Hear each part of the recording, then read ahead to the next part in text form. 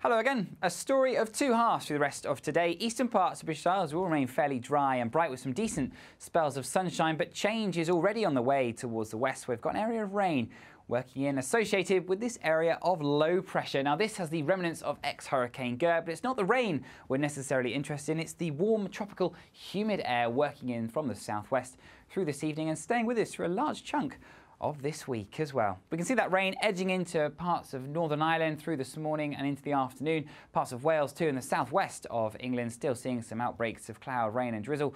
The cloud lowering across the far southwest, but uh, towards the north and east plenty of sunshine around.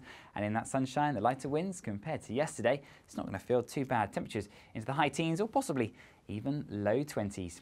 Now through this evening and overnight, that rain continues to work its way towards the north and east. Some heavier pulses across Wales, central southern England.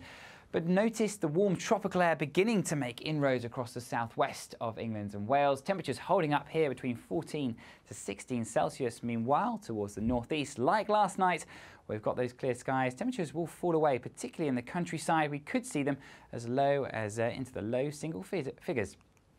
Now, as we start our day on Monday morning, it'll be a bright start towards the north and east, uh, but uh, the rain and cloud will slowly begin to trundle its way northwards through the day petering out far further southwards, where we see a fairly dry day to come across much of England and Wales. Still some heavier bursts of rain across Northern Ireland and Northern England, but that warm tropical humid air already pushing in across much of England and Wales. Temperatures now on the right side of 20 Celsius, but it will feel quite humid in any of that sunshine.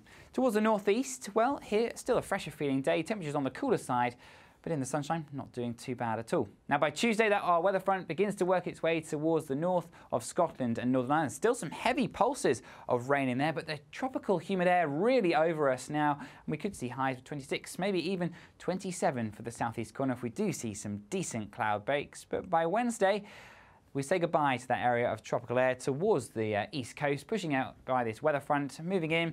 Still some heavy spells of rain across the north, but uh, a fresher feeling day. But if you're in the east of the country, well, you might hold on to highs of 26 or maybe even 27.